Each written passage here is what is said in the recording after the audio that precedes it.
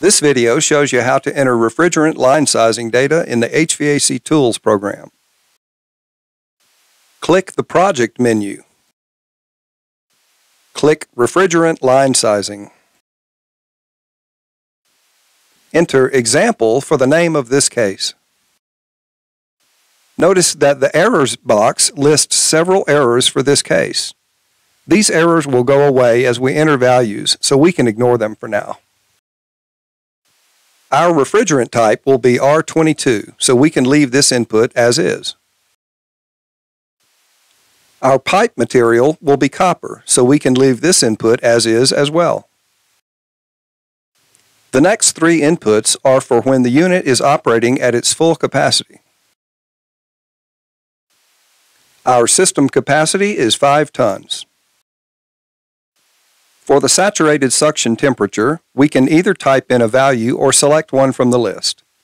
Let's select the typical value for R22 in air conditioning usage, which is 40 degrees. The saturated condensing temperature is typically 20 to 30 degrees Fahrenheit above the outdoor temperature. Enter 120 degrees.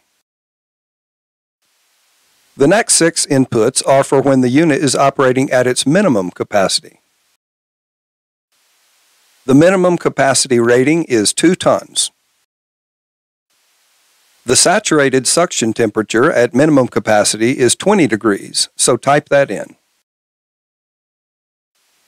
The suction superheat temperature at minimum capacity is 10 degrees. The saturated condensing temperature at minimum capacity is typically 20 to 30 degrees above the outdoor air temperature. Enter 90 degrees. The discharge gas temperature at minimum capacity is 120 degrees. The liquid temperature at minimum capacity is typically 50 to 140 degrees. Enter 90 degrees. The inputs on the right-hand side of this window have to do with the suction, discharge, and liquid lines. Enter 26 feet for the suction line length.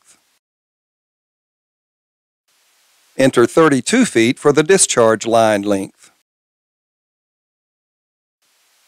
For the liquid line length, enter 12 feet. For each of the design pressure drop inputs, enter 2 degrees. The calculations will size the line so that the actual drop is below that value. We can skip the additional loss and additional feet of loss inputs for this example. Enter 3 feet for the suction line riser length. Enter 13 feet for the discharge line riser length. The liquid line riser length can remain at zero. Under fittings, we need to enter the number of 90 degree long radius elbows in each line. Enter 6 long radius elbows for suction, 5 for discharge, and 2 for liquid. Now that we've entered everything, there are no errors reported. And we can see that the sizing results boxes have been filled in with calculated values.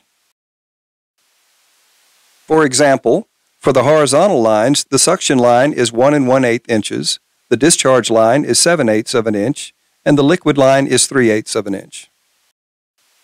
Thanks for watching.